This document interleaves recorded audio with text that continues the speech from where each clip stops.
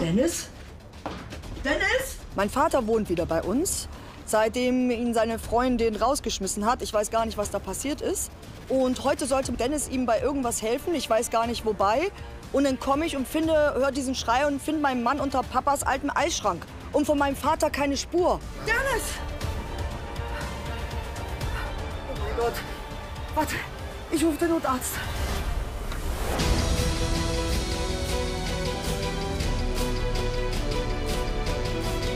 Jetzt.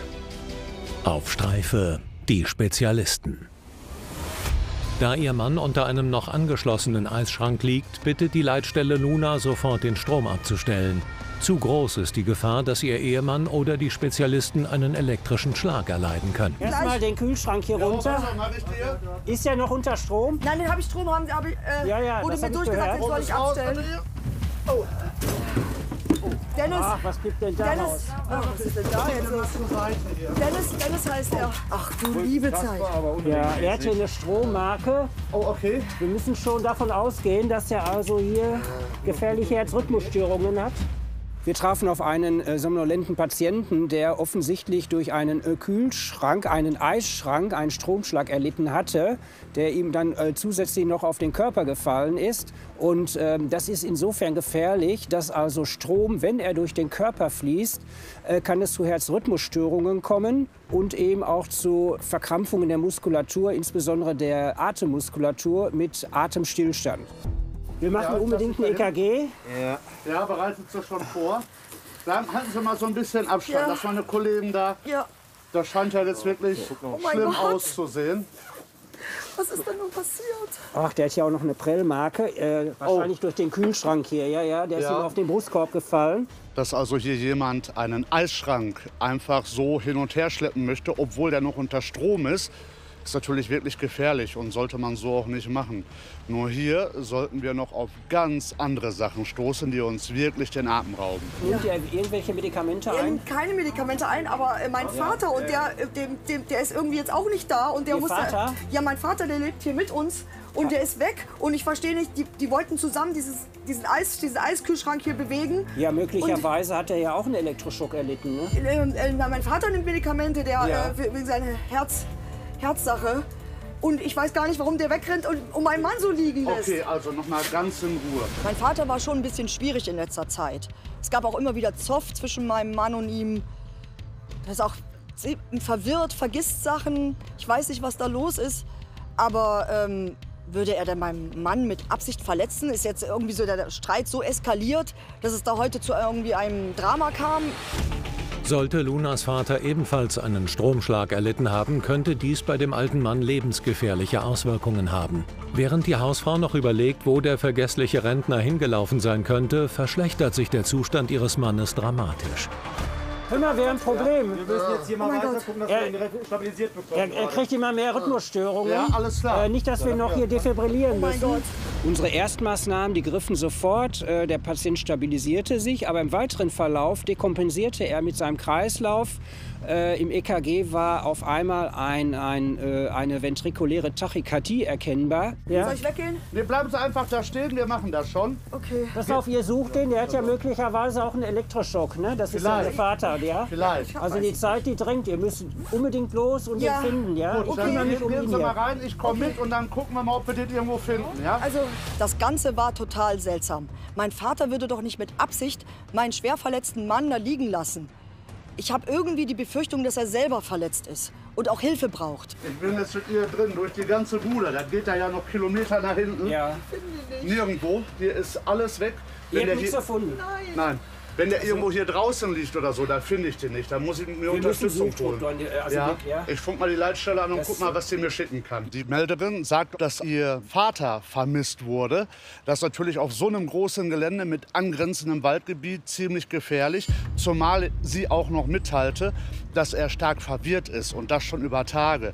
Hier bestand natürlich akute Lebensgefahr, dass ich hier definitiv Unterstützung brauchte im Grund von einem Suchtrupp oder auch einem Hundeführer. Ja, okay, muss ich gucken, was ich jetzt auf die Schnelle hier an den Start kriege. Einen Hundeführer habe ich in Bereitschaft. Mit dem Trupp weiß ich noch nicht. Äh, soll wahrscheinlich schnell gehen.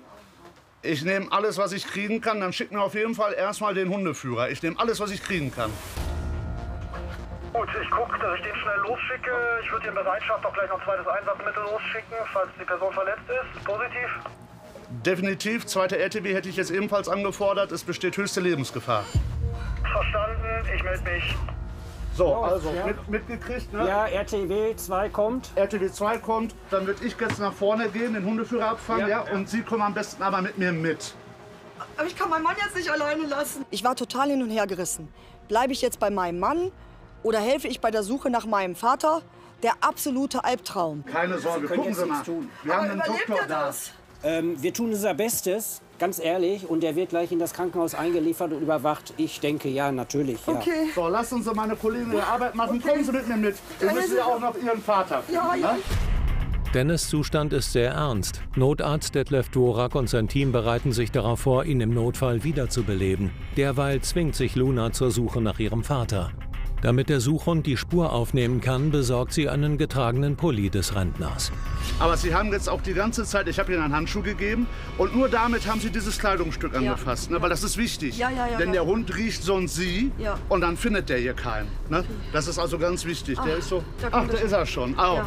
Hundeführer Herbert Mühlen erhält vor der Suche Informationen zur vermissten Person.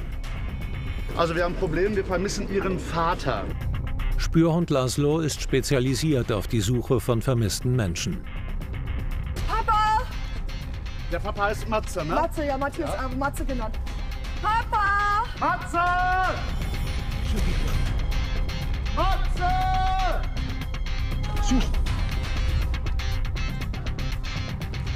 Ja, der hat eine Spur. Oh, geil. Oh, der geht aber ab wie eine Rakete. Eine Mütze gefunden. Eine Mütze. Zeigen Sie mal. So, Mütze, zeig mal her. Ah, nee. Die hat mein Vater schon vor drei Tagen verloren. Der ist, der, der ist ja immer so verwirrt, der verliert andauernd Sachen. Okay, also die ist schon länger. Die ist schon länger weg. Die Kappe hat uns nicht weitergeholfen. Die hat er schon vor ein paar Tagen verloren gehabt. Der musste doch irgendwo sein. Der muss irgendwo liegen und Hilfe brauchen. Wenn er die Mütze gefunden hat, Ja, mit ja, auch ihren Vater. Von daher Ja. gucken wir mal weiter. Ne? Dann würde ich sagen, gehst du wieder vor. Aufgrund von Nässe und Kälte besteht die Gefahr, dass Lunas Vater unterkühlt ist. Zudem steht zu befürchten, dass auch er einen Stromschlag erlitten hat und deshalb möglicherweise unter lebensbedrohlichen Herzproblemen leidet. Papa! Ja, der Hund hat auf jeden Fall eine heiße Spur. Okay, super. Auf jeden Fall. Was ist das denn? Äh.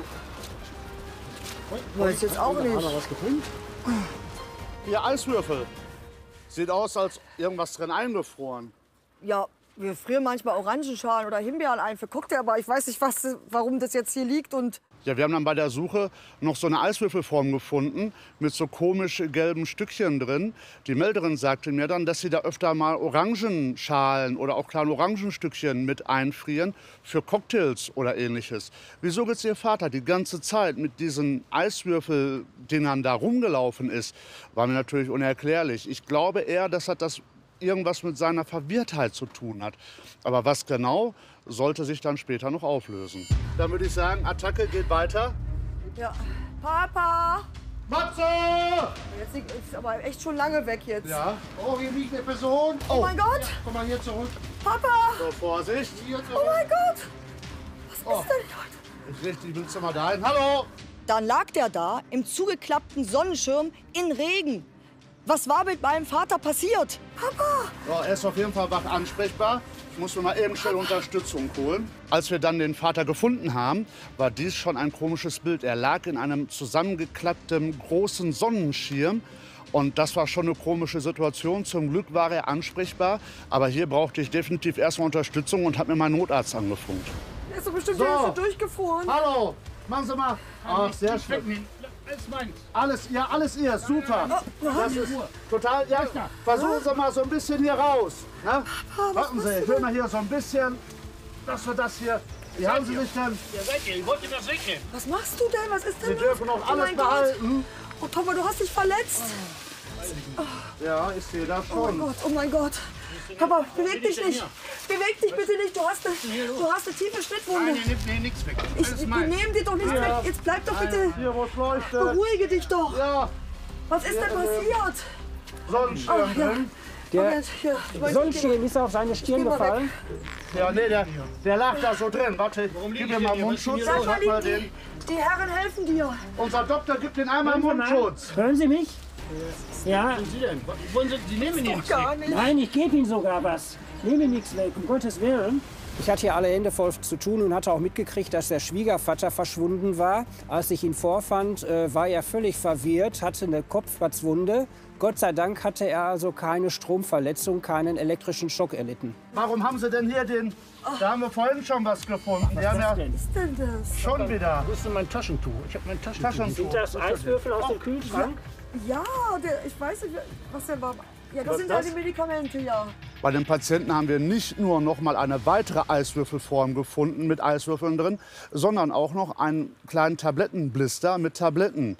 Was das mit dem ganzen Fall noch zu tun haben sollte, war uns bis jetzt noch nicht bewusst. Aber Sie ich, wissen, was er für Medikamente nimmt oder nicht? ja, irgendwas da wegen dem Herz, aber ich, äh, Ja. nee, er will das nicht so sagen, das ist ihm auch äh, unangenehm. Das ist so ein Medikament äh, gegen hohen Blutdruck, äh, so ein Kombipräparat mit einem Entwässerungsmedikament. Ne? ah, Wo ist denn mein Schwiegersohn? Der wollte dem wohl nicht doch was helfen. Ja, ja, Papa, ihr wolltet doch den Kühlschrank verstellen. Was will er mein Kühlschrank? Was macht ihr mit meinen Sachen hier? Nein, nein, die Sachen denn dürfen Sie alle? alle behalten. Was meinen Sie? Sollen wir mal versuchen, zusammen aufzustehen? Ich war heilfroh, dass wir meinen Papa endlich gefunden hatten und dass ihm jetzt geholfen werden konnte. Aber was mit diesen Eiswürfeln war, habe ich immer noch nicht kapiert. Hat bestimmt auch was mit seiner Verwirrtheit zu tun. Leidet Ihr Mann irgendwie an Demenz oder sowas? Mein, mein Vater. Ähm, nein, Äh, Ihr Vater, nein, ja, nein, Entschuldigung. äh, ich, ich denke es manchmal, aber er, er leidet nicht an Demenz. Er nimmt halt da diese, diese Medikamente und, und Ja. sagt mir, Nein, im Moment nicht. Obwohl der 59-Jährige auf Notarzt Detlef Dvorak einen dementen Eindruck macht, könnte auch Mattes Kopfverletzung seine starke Verwirrtheit erklären.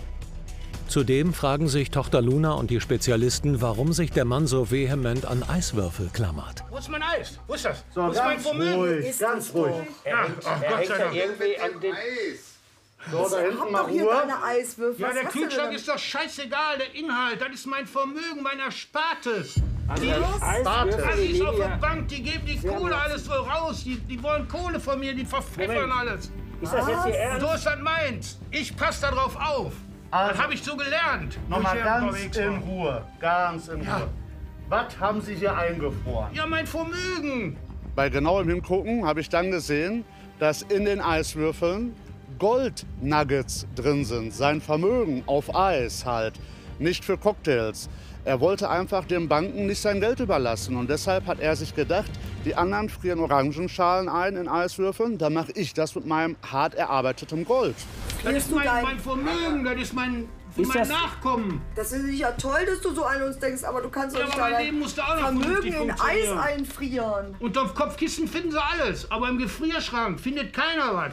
Mein Vater hat den Banken ja noch nie vertraut.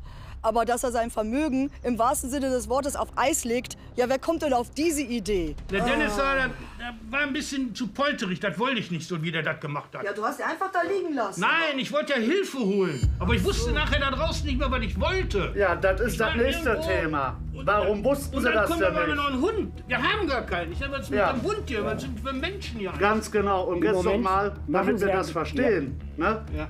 Was müssen Sie denn hier für Medikamente nehmen? Ach, der hat gesagt, ich soll immer nehmen, wenn es mir schlecht geht. Oder ich kann auch sein, dass ich was falsch verstanden habe. Sie haben ja ein bisschen viel Medikamente aus diesem Blister genommen, ne? Ja, ich die wusste sind ja nicht gegen ich die hohen schon genommen Blutdruck. hatte oder nicht. Ja. Herr Kleinschmidt war ja nun Herzpatient und musste also äh, Bluthochdruckmedikamente einnehmen, verbunden mit einem Entwässerungsmedikament.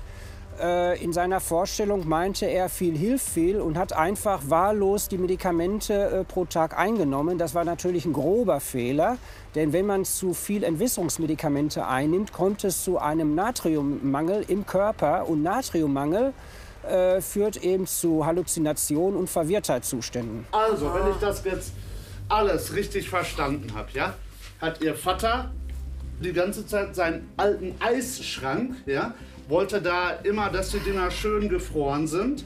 Dann ist das Ding, als Ihr Mann ihm geholfen hat, das Ding zu tragen, hat er einen Stromschlag bekommen.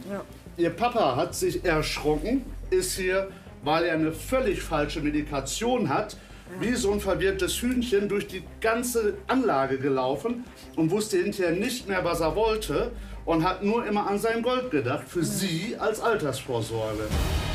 Da auch mehrere Stunden nach einem Stromschlag noch schwere Herzprobleme auftreten können, blieb Ehemann Dennis für drei Tage zur Beobachtung in der Klinik.